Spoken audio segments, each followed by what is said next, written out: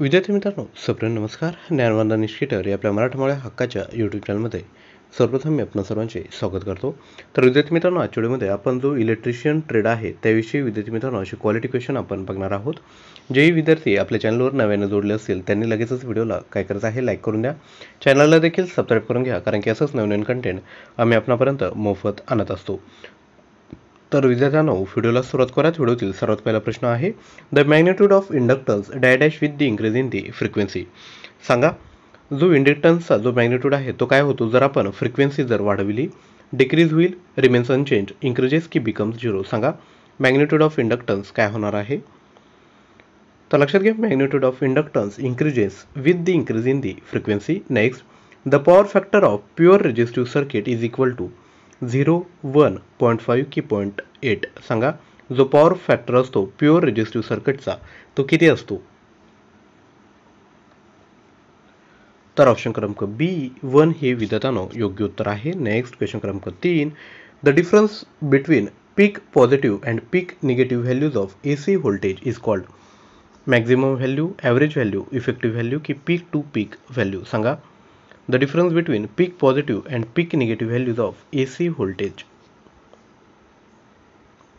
तर ऑप्शन क्रमांक D peak to peak value योग्य उत्तर आहे. नेक्स्ट क्वेश्चन क्रमांक चार. The R M S of A C is equal to ji R M S root mean square value जी असते alternative करंटची ती किती असते? Point six three seven of maximum value point seven zero seven of maximum value one point four one four of maximum value की the maximum value सांगा root mean square value जी असते A C ती option क्रमांक B point seven zero seven of maximum value योग्य उत्तर आहे. Next question क्रमांक पाच the value of form factor for pure sine wave किती? One point four one four point seven zero seven point six three seven की one point one one pure sine वेव्हचा form factor तर one point one one योग्य उत्तर आहे. Next question क्रमांक सहा. Single phase portable generator are generally made in the range of five thousand kilovolt ampere thousand kilovolt ampere hundred kilovolt ampere की five K V सांगा. जो single phase portable generator असतो तो कोणत्या रेंजमध्ये तयार केला जातो? तर फाईव्ह के व्ही ए योग्य उत्तर आहे. नेक्स्ट क्वेश्चन क्रमांक सात an alternator supplies electric power to various kind of load of factory if the phase sequence of alternator is change it will affect the three phase heating circuit three phase motor circuit single phase motor circuit की lighting circuit सांगा विद्यार्थ्यानो.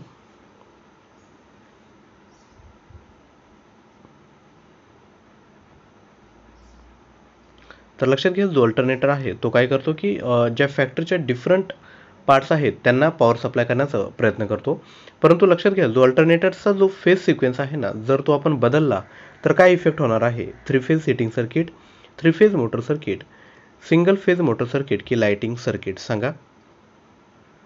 तर option क्रमांक B three phase motor circuit योग्य उत्तर आहे. Next question क्रमांक आठ the value of pitch factor and distribution factor for an alternator are point nine and point eight respectively This will develop an EMF lesser than alternator having the full pitch coil and concentrated winding by 0.7, 0.72, 0.88 की 0.92 सांगा।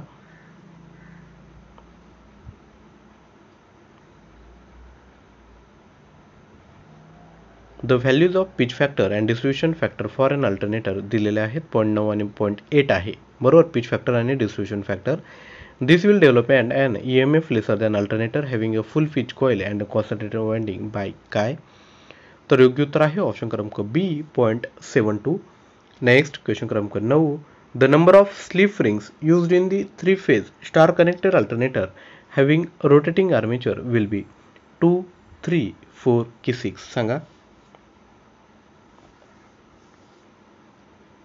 तर option क्रमांक C, चार हे विद्यार्थ्यांनो योग्य उत्तर असणार next question क्रमांक दहा.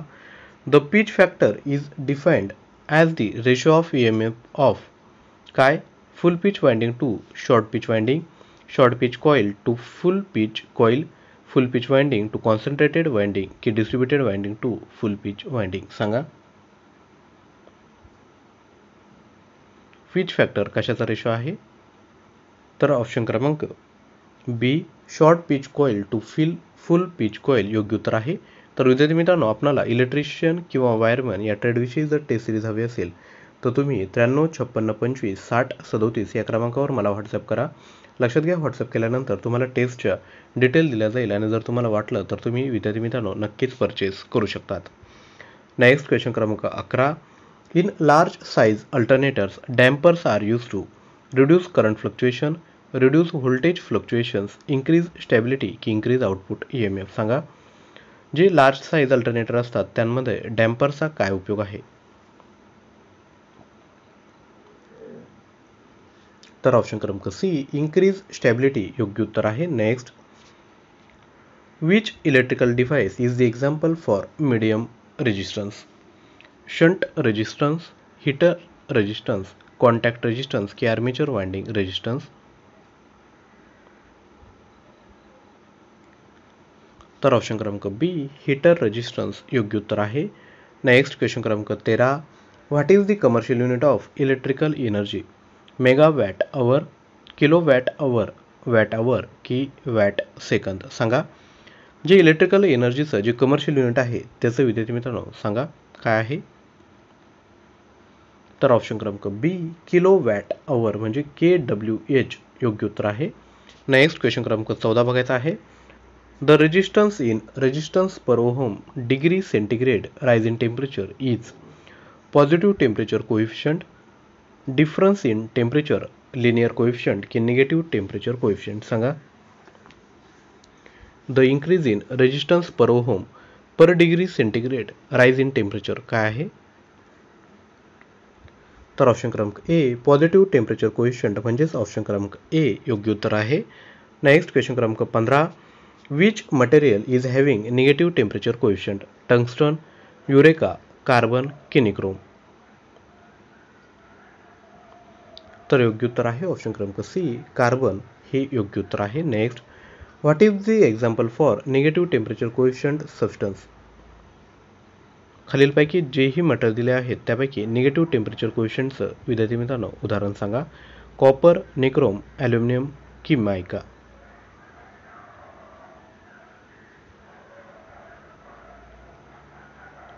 तर ऑप्शन क्रमांक डी मायका हे योग्य उत्तर आहे. म्हणजेच काय?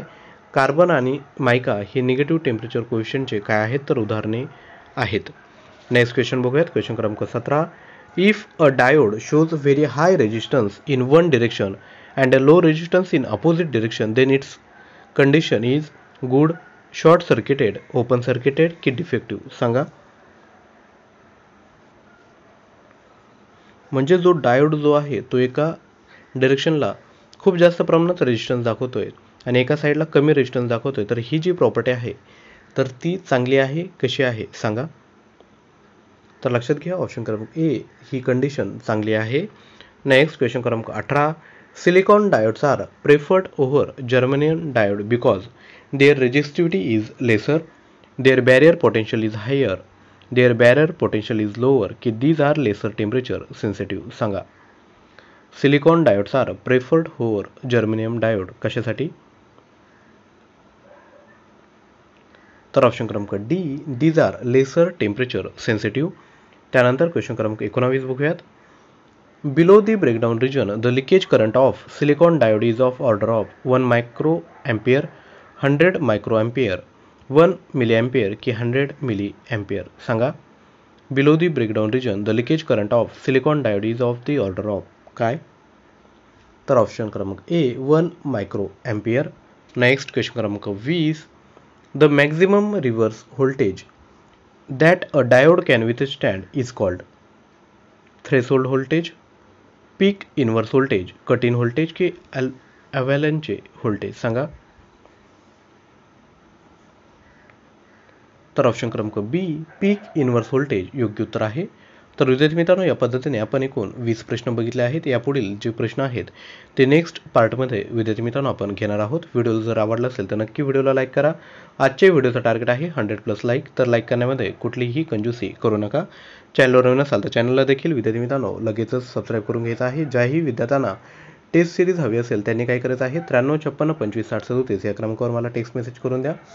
तसेच मी तुम्हाला टेस्टचे डिटेल देईल. जर तुम्हाला आवडलं असेल तर तुम्ही घेऊ शकता जर नसेल तर तुम्ही घेऊ नका काहीही प्रॉब्लेम नाही. तर आजच्या व्हिडिओमध्ये या ठिकाणी थांबत आहोत. नवीन व्हिडिओमध्ये लवकरच भेटूयात. तोपर्यंत थँक्यू